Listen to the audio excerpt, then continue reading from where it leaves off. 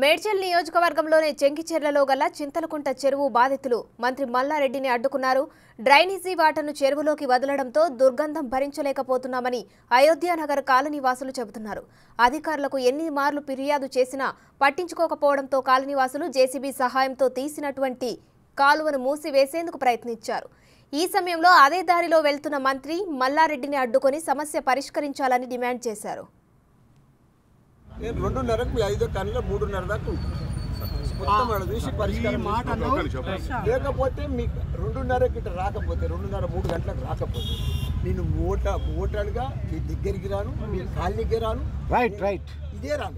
Okay okay okay. మీరు కూడా పని చేపిస్తాను. నేను వచ్చి అరే వచ్చి బాగలేదా? పట్టుకొని నేను ప్రోగ్రామ్ పోతున్నాను. నేను మూడు గంటలకు వస్తా. మీ కాలనీ అరే? మూడు గంటలకు సార్ నేను వస్తున్నా. లేకపోతే మీరు నాకు ఓటేకూరి రాకూరి చేకూరి. నన్ను బయట. ఇంకో విషయం చెప్తున్నా. ఆ నీళ్ళు కూడా వచ్చేటి బంద్ చేస్తాను రైట్ మూడు రోజుల కింద మూడు రోజుల కింద ముదిరా చేప డైరెక్ట్ డ్రైనేజ్ కనెక్షన్ డైరెక్ట్ తీసుకొని వచ్చేసి మా అయోధ్య కాలనీకి రూమ్లో వదిలేస్తే అయోధ్యనగర్ కాలనీకి వస్తుంది. అయోధ్యనగర్ కాలనీలో మూడు రోజులు. అయింది మూడు రోజులు వస్తున్నాయి. స్టార్ట్ అయ్యి రోగాలతోని అసలు మీరు జన ఒకసారి చూడండి కాలనీకి వచ్చి మీకు తెలుస్తుంది.